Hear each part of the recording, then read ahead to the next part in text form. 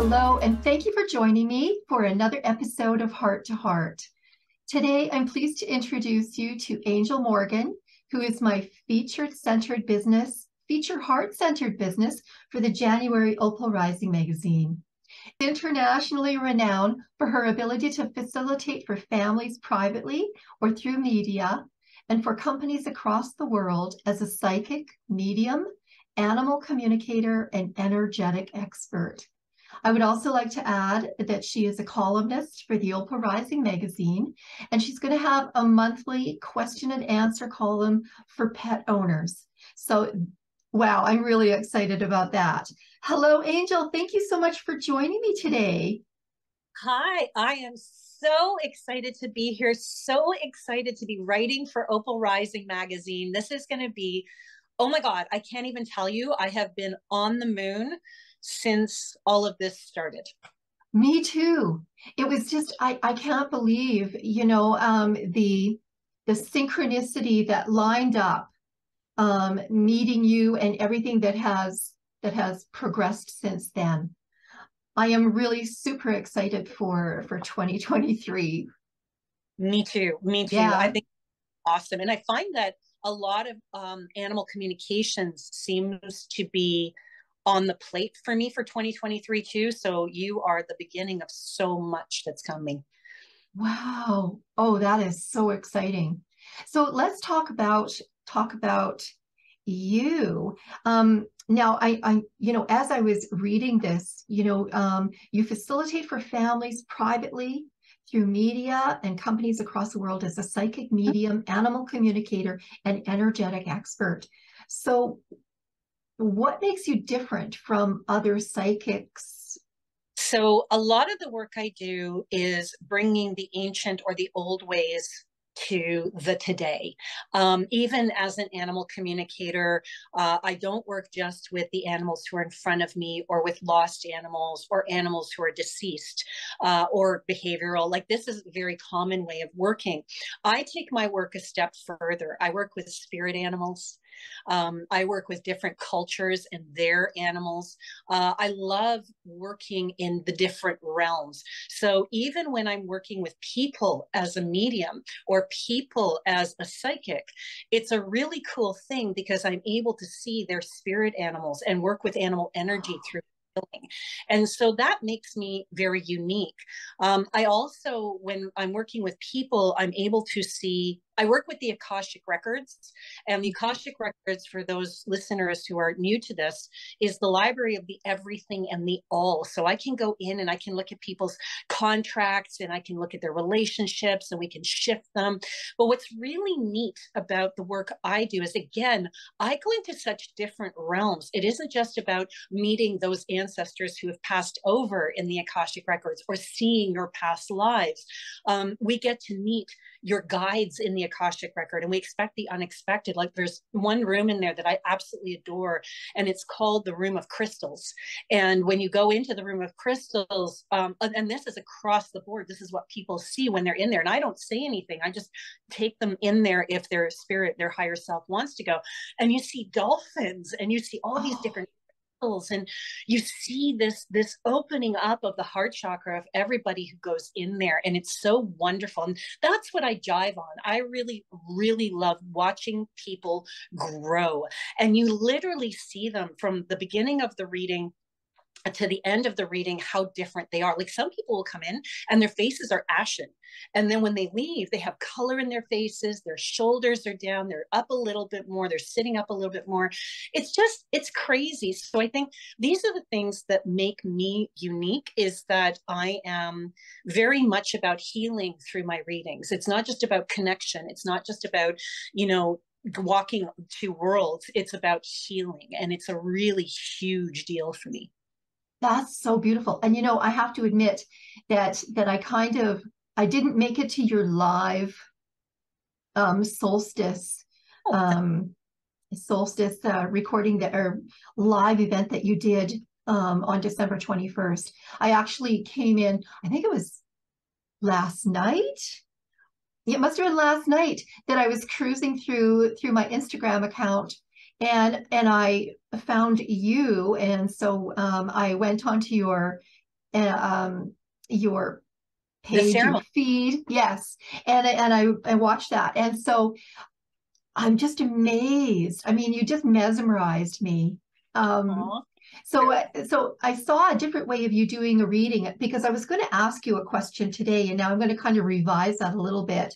I was going to say, um, I was going to ask you, um, do you use tarot cards or some other method to do a reading? But I saw you actually doing something that was so um, immediate. Oh, oh yes, yeah, really in the moment. Yeah. Yeah. And because that is the way I work. I I never plan anything, which is a little, um, it, it gives me anxiety sometimes because I'm not the kind of person who sits down and writes out my rituals or my ceremonies or my classes, even mm-hmm. because mm-hmm. I channel. So as soon as I step into ceremony, the entire ceremony is downloaded. And so as I go, I leave room to meander and to move and to hear. And like uh, there were certain things that I did that I wasn't planning to do until literally literally 30 seconds before. Um, like one of the things that I used was uh, I had a, a, wonderful, beautiful snake. His name was Severus, and he was my heart, and he passed away this year. And so he had this beautiful hidey hole. It was like a log. And I thought, I need a Yule log. So why not honor him? Because he was a ceremony. Oh. He actually worked with uh, South American medicine people when they were here in Canada. Mm-hmm. He was put through ceremony, he was blessed. And I thought, well, just because he's passed doesn't mean he can't still be part of my ceremony. And so yeah. his little hidey hole became my Yule log and will be from from now on. That will become my tradition. So that was the log that you had on the table? Yeah. So the log that I had oh. on the Severus's log, and mm-hmm. I thought perfect and and th- that's what i used to do is i used to take logs and i used to drill little holes in them and put the candles on top mm-hmm. and i mm-hmm. thought well this works just as well you know? So that was something that came about literally 30 seconds before i went live. Amazing. Oh my yeah. god wow. Yeah. okay so now i have to ask you um, when did you know that you had this gift? Oh well when i was a little girl I had an experience, and uh, I was in that in between place, waking up, and I saw my great aunt, and she was standing by a tree. And now I know that tree to be the tree of life. And when I woke up from that dream, my mother was coming up the stairs. My mother was the only one out of nine children who was actually raised with her and her sister. And she came and she said, Listen, your great Auntie Mary passed. And I said, Yeah, I know. She goes, Well, how do you know? And I said, I just saw her. And we're Maltese. We were raised very Catholic. So she was like, You didn't see anything and you didn't hear it so that was one of my first conscious experiences and then um, later on i met somebody who started getting me out into the elements and i started mountain biking and skiing and i became very athletic and, and active and getting out in the elements started to activate all of these different things that I was so completely unaware of. And I started to see. And that was really frightening for me. So I needed guidance. And through my journey, I just happened to get a deck of cards from somebody. They were just really pretty pictures to me. They were cards, mm-hmm. you know, and this one card kept popping up, and I started to hear, look for the raven, look for the crow, look for the raven, look for the crow. And I happened on this store whose um, symbol was the raven. It's a little store here in Ontario, uh, in Newmarket, called the Hedge Witch. And we became fast friends, and I ended up working there for nine and a half years. And it was also the place where the reader was the first reader I'd ever gone to see. She said, Well, you're going to be doing this with your life. And at the time, I'd owned theater companies. I was an actor. That's what I was doing for a living. I was in the last cuts of Shaw Festival, Stratford Festival. And she said, You're going to be doing this. And I thought, You're on crack. Uh, so I, I, within six weeks of that reading, I actually ended up there. And just recently, probably about two years ago, I was actually gifted with that little crow, that little raven. When I walked in, I saw him on the shelving unit and I thought, this is the place. It was just a little, little toy. And mm-hmm. a, so I was actually gifted with Hermes. Um, so Hermes. I, yeah, I've always had him on my desk. He's always been with me since then yeah so oh. that's quite how it all came about oh wow you know you're that's not unique you know i hear that from so many people that um they've known forever. I mean, I think, I mean, even myself, I, I know too, um, as a young child, you know, I've had that ability to to see my relatives that have crossed over, but um, but yes, I hear the same story and and the guidance too of you know being led like you're you're a symbol is presented to you and then you're led. Yes, and what's really funny is my fiance is his spirit animal is the raven. So the raven is a very um, a very big symbol in my life, not just because it's esoteric, because everybody loves ravens when, on this path, um, but mm-hmm. the raven has really led me to that part of me that is that is um, that is the esoteric and the elder that I've become. Right. You know, and it's and it's yes. we hear this all the time that we we find these things that lead us to who we are and what we're meant to do. Yes. Oh my goodness. So um let me see. Um I have to review to my, review my notes here a little bit. Um add to that as well that you know when i started i was a non-believer. I didn't believe in any of this stuff. Um that was just this was not on my plate growing up. I was just one of those oh yeah whatever psychics you know they're for the monster movies. So mm-hmm. this was that i had you know you don't grow up going i'm going to be a psychic but here i am. Wow. Oh my goodness. So do you use tarot cards? Because i think the first time that that we we talked. I saw you holding some cards in your hand and I just assumed they were tarot cards and you were getting ready to do a reading. So do you do tarot as well? Yeah, so I do whatever is necessary for the client in front of me. So most times I cards, but that's where I started. When I first started, um, I was the my first day at the Hedge Witch. I was in the chapters because I was so early, and this deck kept falling off the shelf. And I thought, oh, whatever, you know, I don't have enough money to buy it. And I literally was leaving the chapters, and it was like a wall. And I went back and like, okay, you know what, whatever, I'm going to buy this deck. And it just happened that my very first client was uh, a big wolf dog, like it was gorgeous, mm-hmm. and mm-hmm he literally some cards fell out of the deck when I was shuffling and it fell on the floor and he went over and he picked a card.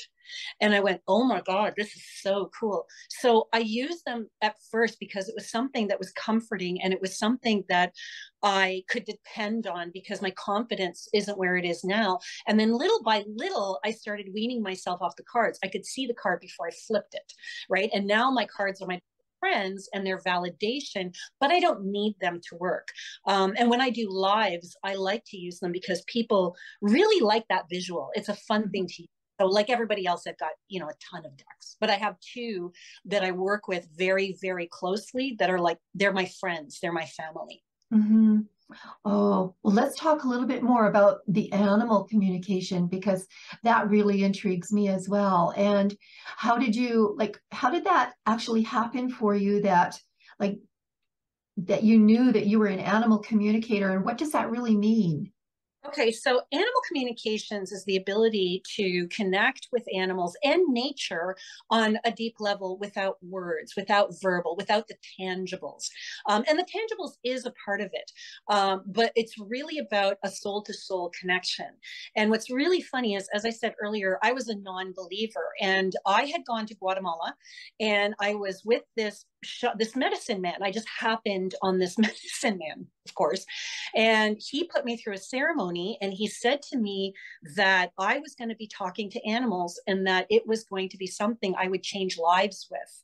And again, I just, I thought he was on crack.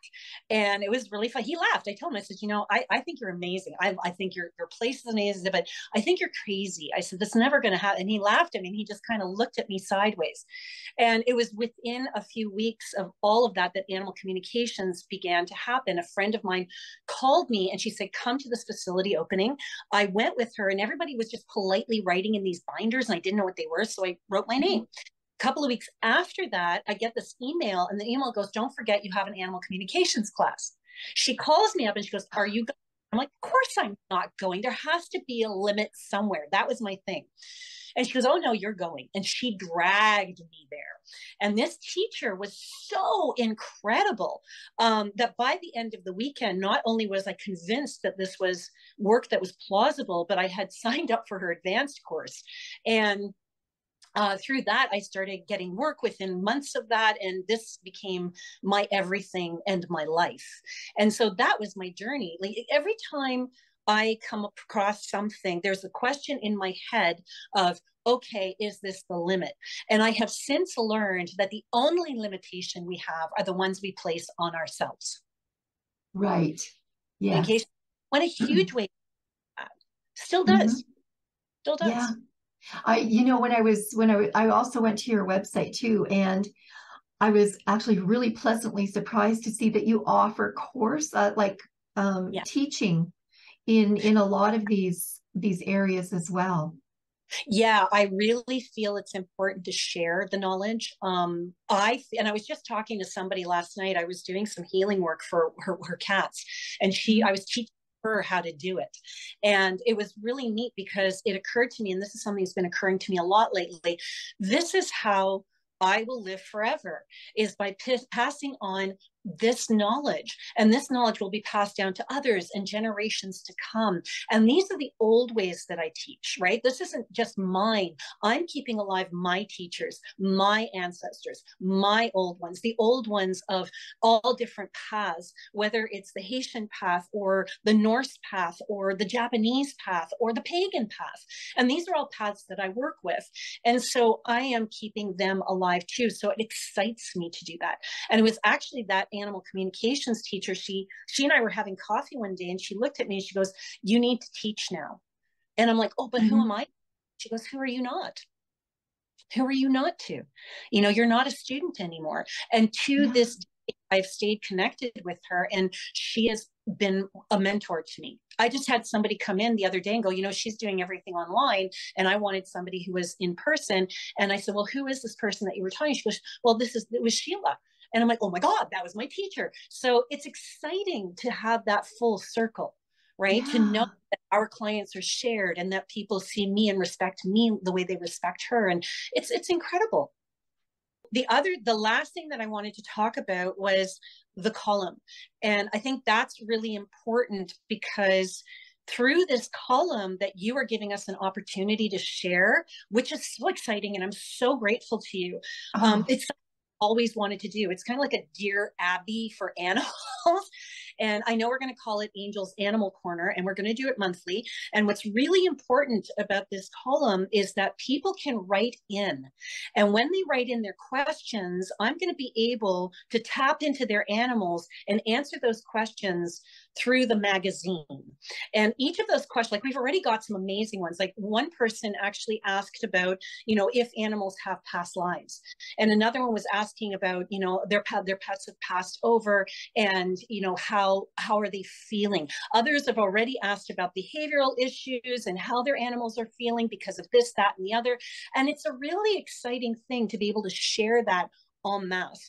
So mm-hmm. if, ask those questions, um, I believe it's Angel Morgan dot opal rising magazine at gmail.com see i remembered haha I'm excellent good. yes yeah always go to angel morgan pet psychic and uh, submit your questions there as well perfect yes and i will have that link to the magazine column um, at the end of the show as well so tell us a little bit about where you're living and and um, and how someone can contact you for a session Sure. Well, I am in Ontario. Um, I have offices where I live in Mississauga, and I have one in the downtown core as well at the Toronto Exchange, uh, Stock Exchange. Uh, mm-hmm. So I love my spaces. And then I have my Newmarket office, which is out of the Hedge Witch where I started. Uh, and I'm there monthly. But I am global. I work mm-hmm. virtually. Uh, I work um, through Zoom and uh, Messenger, and I do lives for people, which are my give back, by the way. Uh, mm-hmm. because I do well in my life, there's always that thank you and this is why I do lives on Facebook and Instagram at Raising Energy. That is my company name. So mm-hmm. if anybody find me, you can go to Instagram at Raising Energy. Uh, you can go to raisingenergy.com. But those people who specifically want to, to work with animals, uh, Angel Morgan Pet Psychic.com is my website that is animal specific. Okay, perfect. And I will have all of those links at the end of the program. So if anybody, you know, listeners and viewers out there, if you are interested in um, uh, reaching and contacting Angel Morgan, you can see those links at the end of the program. Thank you so much, Angel. Oh my goodness, I can hardly wait to talk to you um, right after the show here. So um, goodbye, everybody, and thank you so much for watching. This is my last podcast of the season for the year 2022. So happy new year, everybody. See you all next year. Bye. Bye. Thank you.